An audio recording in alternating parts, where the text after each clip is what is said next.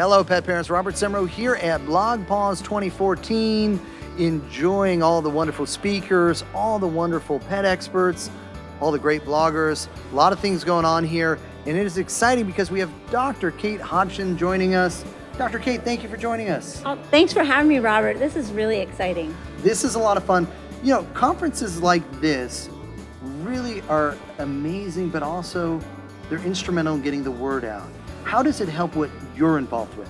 Oh my gosh, um, it really is because when we're here at the conference, I get the chance to talk about my research and my experience teaching both veterinarians and family physicians, and then all the people who are passionately care about their pets and their families get to tell hundreds and thousands of other people about the really exciting things we've learned as you've been going around a little bit, you've been meeting people, what's the general reaction to not only the topic you're going to be speaking to, but just everything that you and Habri are doing?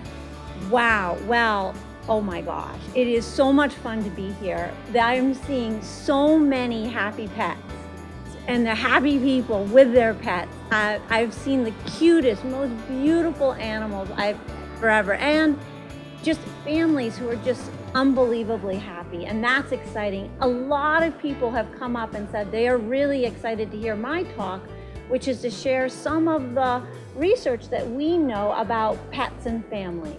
Well, let's talk about that for a second. For those who won't be able to attend it, share a little bit about it, pets in the family. Um, so we know that pets are a really important part of many families. In fact, in North America, when we think about families, um, extended families, so not just a nuclear family, but extended families, more than two thirds, probably as many as three quarters of extended families in North America have a pet, which is amazing and wonderful because pets are so good for us um, and for them. Uh, the other thing that's really exciting is that when we um, interview pet families, they 90% of them describe the pet as a member of the family, as a really important companion, and as a source of happiness and joy in their life. I'm excited to hear the talk myself. Good. What are a couple of the key takeaways that you hope everybody walks away with and shares with the world? Well, one of the key things we're going to be talking about tomorrow is a new term that you might not have heard, zooeyia. Zooeyia is the positive inverse of zoonoses. So if zoonoses are zoo, animal, nosis, disease, the diseases we share with them. Zooeyia is the health benefits that humans and their companion animals share. And we're really going to be talking about three kinds of zooeyia. The first is that pets can be catalysts for harm reduction.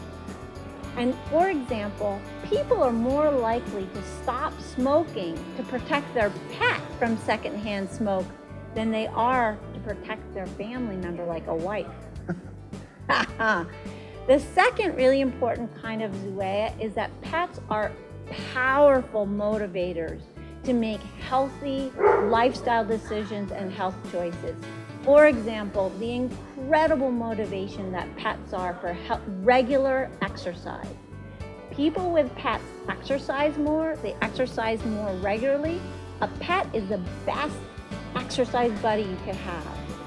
And finally, a third category of zooeyia that's really important is that pets can actually be therapeutic interventions. They're part of the way we can take care of our health. And doctors need to know that more. For example, um, pets can actually be used to help you manage stress, anxiety, and depression. So that's one of the things I'm going to be talking about tomorrow, the three kind of big categories of zooeyia. Zooeyia. Okay, I've now said it, so it's out there. I am so excited about this. I, have experienced it, so yes. I'm a big believer already. Yep. And I'm, I'm excited that we're bringing it out in mass to the world. So thank you for doing that.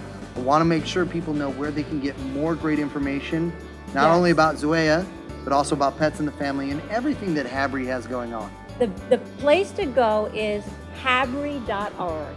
H-A-B-R-I dot org. And on there, there's lots of information about exciting programs that Habri is doing.